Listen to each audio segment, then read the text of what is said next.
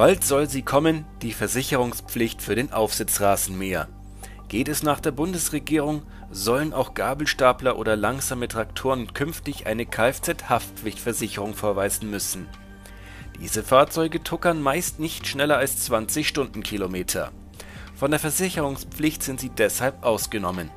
Bei einem Schaden übernimmt bislang die private Haftpflichtversicherung des Besitzers. Doch damit soll schon bald Schluss sein Fahrzeuge mit einer Höchstgeschwindigkeit zwischen 6 und 20 Stundenkilometer könnten bereits Ende Dezember 2023 unter die neue Versicherungspflicht fallen. Denn die Bundesregierung muss bis dahin eine EU-Richtlinie umsetzen. Die Versicherungspflicht soll einheitlich geregelt sein. Ebenso die Entschädigung von Verkehrsopfern, wenn ein Autoversicherer insolvent geht den entsprechenden Gesetzesentwurf hat der Bundestag bereits Ende September ohne Aussprache an den Rechtsausschuss des Parlaments überwiesen, berichtet die Süddeutsche Zeitung. Wer der Pflicht nicht nachkommt, macht sich sogar strafbar. Im schlimmsten Falle droht eine Freiheitsstrafe von bis zu einem Jahr. Das Fahrzeug könnte ebenfalls eingezogen werden. Die Regierung prüfe allerdings, ob sie mit der Sanktionierung nicht noch wartet, heißt es in dem Bericht weiter